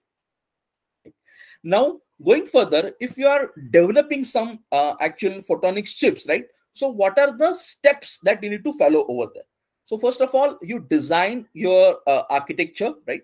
So uh, you have uh, the different structures over there. You choose the components what you are going to use. Then you have certain tools for the simulations. I'll be telling which tools are there and what are the other steps over there. You perform some kind of simulations and you uh, the most critical part over here is the solver part the electromagnetic solver. Because these are the photonics chips. As a whole we need to resolve that. We have to uh, find out the effect of the electromagnetics uh, over there with the different solvers. So uh, some of the tools support the fdtd solvers. Some of the uh, tools support something called as the bpm beam uh, propagation methods. And accordingly they solve that particular problem over there so the most of uh, the tools like from ANSYS and those things, they're using the combination of uh, the FTD and other uh, MOM um, or uh, what we call as the BPM method to solve that particular EM uh, problems or the solvers part uh, from a computational electromagnetics view of the particular photonics chips. Once you have designed those things, you have that particular GDS, right? so we can use that K, la KLayout and those things over there and you send it the that particular for a fabrication right? When you send it for fabrication uh, they will test it and find out the errors in that right? And again you have to you know uh, retune your design as per uh, the suggestions uh, by those particular uh, facility. And once you have that particular uh, data available there is a lot of data analysis need to be done from the manufactured chips over there right and then you send that part, uh, particular chip for a production part. So these are the steps. So in detail, as you can see, we have the different component models that we simulate. So whether it's a passive or opti active, right? So generally laser and those things that comes into the active part. Then you have the ring resonators and those or directional couplers that again falls in uh, uh, active part, optical part. The passive part has those waveguides. We have photo detectors. We have uh, the Y branches and the grating parts as well. Then you use the simulation part, you create a physical layout and the verification part, we have this lithography kind of stuffs where it does actually uh, checks whether this particular design that you have uh, created fits into the design, uh, fits in, onto the chip and what will be the output over there. So this is what we call as a lithography simulation. And we have certain design rule checks for that as well. And once you have that, you send that to the foundry uh, and you have this PDK for that as well, right? And uh, then you can uh, test the actual uh, what we call as the output from your chip and the data from over there right? so then then you can go for a production. So if someone is interested in this particular domain yes uh, you have certain tools like ansys optiwave these are all paid tools. The IPKISS is something like uh, it's though it's open source but it's a paid tool. Nazca is something uh, is open source and free tool which is now coming up for open source community right? Of course they have still limitations uh, from a design perspective and some of the components perspective but still it is a good thing. Uh, other thing that one can look for the different electromagnetic solvers and how do they apply once you have designed a particular photonic chips what are different fabrication methods and how we can analyze that particular data that is collected from this particular chip right? So uh, this is what is about the uh, basics of astrophotonics. I hope that made some sense right let me know if you have any questions.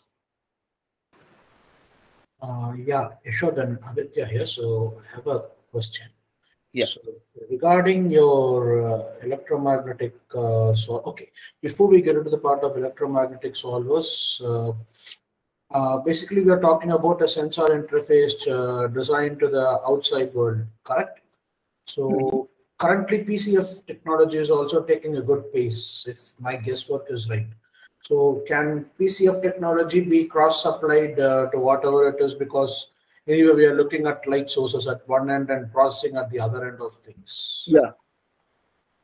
Uh, I just missed something. Can you please repeat the question? I missed something in. Yeah. So my question was, can we use some sort of uh, PCF for our uh, sensor and uh, the other end of the system can be your uh, PIC, photonic integrated circuit. Is that kind of arrangement also possible? Yes, yes, yes, it is there. Yeah. So most of now sensors, like for example, accelerometers and those things, uh, can also be done with the photonics part. Yes.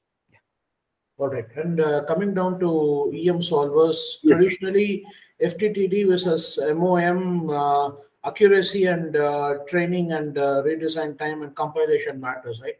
In terms Yes, of yes. CEM. Yes. yes. So when doing uh, your current simulation in uh, MOM and when doing your current simulation and analysis in say FDTD, what kind of error uh, ranges uh, are we looking at? Because that matters a lot when we move down to those terahertz of frequencies. Okay. So uh, what happens is like when we are uh, looking from a perspective of a photonics chip, right? The FDTD has quite a high efficiency, more than MOM, as well as there is one more thing as I spoken about the beam propagation method. Now uh, over here, what happens uh, in terms of the solving that particular problem, we have this uh, TE mode and the TM mode over there, right? In in, in that do, particular yeah, scenario, yeah. right? Yeah. Uh, in that particular thing, uh, whatever the designs that you consider, uh, solving the TE mode, TM mode, the FDTD plays a, a more efficient way in solving that particular problem. So most of the tools that you have for the simulations, most of them support the FDTD part over there. And uh, MOM is like there are less tools uh, as from a, uh perspective of uh, the solvers part. I believe that uh, one of the OptiWave has those things, but again, it is kind of a low cost tools and very less people use that. But considering the uh, higher efficiency, or when we go for the higher design or the consideration for the different or the sub bands, let's say uh, consider for the NIR band, like uh, we have a very less amount of bandwidth over there. And in that scenario, we try to go for a FTD uh, solution because you have a better, uh, though it takes a lot of time for the computation part, I agree, but the amount of uh, solution that you get out of it is much more accurate. So basically, your breakpoint comes between the computation time versus the accuracy that you get in the computation. yes, yes, yes, yes, yes. Trade off is there. Yes. All right. So I might have one more question. Uh, Sure. um, uh, okay. In terms of photonic integrated circuits, and basically we're looking at a multi-physics environment, correct? Where your temperature also plays an effect with your Yes, uh, yes, yes, lensing yes. effect. Yes, A yes. COMSOL solver would be more efficient in terms of gathering and uh, extracting those data when compared to an ANSYS solver, correct? Yes, yes. So, in terms of COMSOL solver versus an ANSYS solver, Uh, COMSOL, I don't think COMSOL is uh, for the optics part. So we have ANSYS and uh, we have the different uh, tools like uh, IP keys over there. So COMSOL part, I don't see over there. So uh, uh, in for the photonic circuits. all right, all right. Cool, Yasha. Then uh, I think that's what I have for questions for Yeah, now. sure, sure. Thank you, thank you.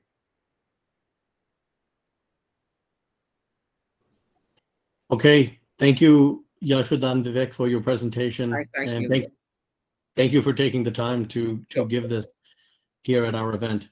Sure, thanks a lot. With that, we will close the event for today. Um, We'll make just a few quick concluding remarks and announcements. Uh, The next event that we'll be hosting will be in approximately three months. Uh, We try to maintain a cadence of about one event every three months. And so our next event will tentatively be at maybe the end of July or early August, uh, three months from now. So stay tuned for that. We'll make announcements on our website, on Twitter, on the USRP users mailing list and the Discuss GNU Radio mailing list, um, and also on Reddit. So stay tuned there uh, for announcements, uh, including uh, the agenda for the fourth event. And if you'd like to speak in the fourth event, please reach out to us. We're always looking for speakers from the community. Uh, so please uh, get in touch with us if you might be interested in giving a presentation, uh, or if you even have announcements that you would like us to make at the beginning of the event. Um, get in touch with us. The easiest way to do that is to join our Slack uh, workspace. Um, if you go to the SI-SDR-UG website, there's a page uh, for contacting us. And on that page, you can find the way, uh, the link for joining the Slack workspace. And there you can chat in real time with, with us on the organizing committee. We can talk about anything that, that's on your mind, whether it's simply questions about the event or questions about some of the presentations, or if you're interested in presenting yourself or, or making some announcement. So please get in touch with us and uh, join that community. Um, and with that, I think that is all the announcements for today. And that concludes our event number four. I thank everybody for joining. This event ha has been recorded and will be posted on our website uh, and on YouTube um, as part of our archives. All of our episodes, um, ep uh, events one, two, and now event three are, are available to watch at any time on YouTube. And um, we'll hopefully see you on, on the fourth event. Uh, please keep in touch. Please reach out to any of us anytime, and we'll see you in a few months. Thank you very much.